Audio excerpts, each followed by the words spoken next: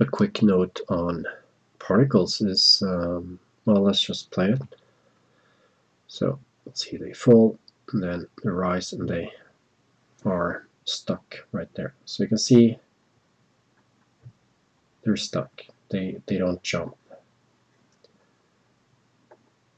And the only way to get that going was to have really high gravity, minus 33, and then have a somewhat high particle resistance. So you can see if you don't do that,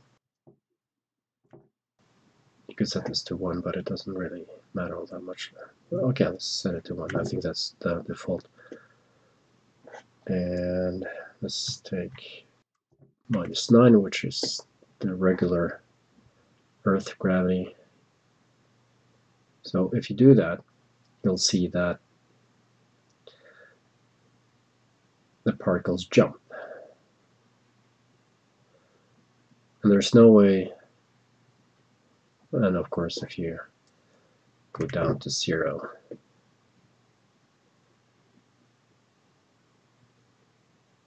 they will jump even more.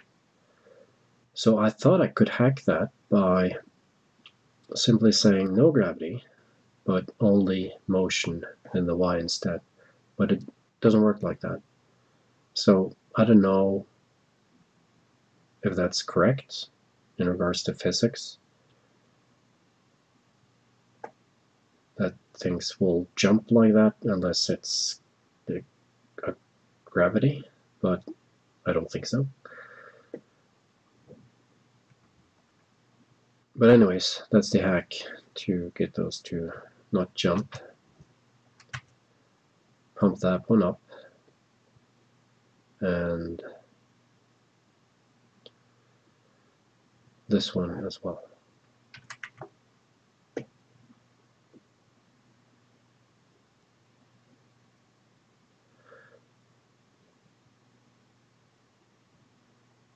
You might think that it shouldn't happen since the collision object is a stick object with a fixed power.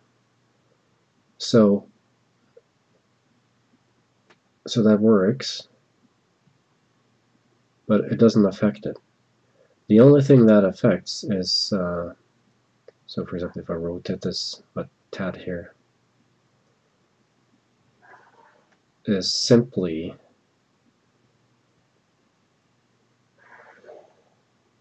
those current collided particles and how they stick to that plane. So if I say calculate again, uh, wait a second.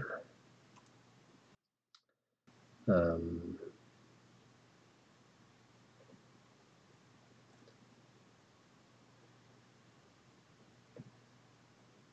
does that work? Yeah, okay. Works as it should. So you would think that since there, this is a, a, stick collision, uh, or a sticky collision, it, uh, the particles shouldn't jump, but they do. So the only way to hack this is to uh, to make the particles not jump is to turn the gravity up and have a high particle resistance. Worth a note, I guess.